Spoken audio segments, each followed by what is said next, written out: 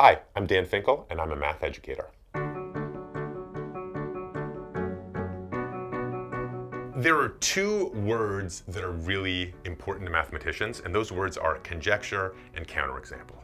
Conjecture is like a hypothesis in science. It's an educated guess based on what we know so far. And counterexample is a great one. A counterexample is an example that shows you that your conjecture is false. And I don't think it is going too far to say that mathematics as a field really has advanced by way of conjectures and counterexamples. I could almost lay out a history of the development of the number system that says like, oh, whenever you add numbers together, they always get bigger. Oh, but wait, what about zero? What about negative numbers? Those are counterexamples. And whenever you multiply numbers, you know, they always get bigger. But wait, what about a half? Oh, what about other fractions? There's a counterexample. And over and over again, we have things put forward which are shown to be either totally wrong or just partial truths we have to refine, we get better. This is kind of the nature of making mistakes and improving. Here's the good news, is you can use conjectures and counterexamples in your classroom.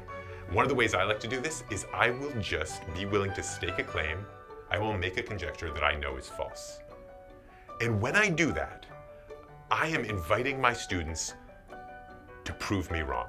And they know, because they've learned these words, that if they can come up with a counterexample, it doesn't matter how much evidence there is in my favor, one counterexample will prove me wrong. What this does is, first of all, it involves students in what is really a genuine and authentic mathematical problem-solving process. But it also is inviting them to break down how the process of problem solving really works. Often when we give students a hard problem, if they don't know what to do at first, that's just a really scary place to be.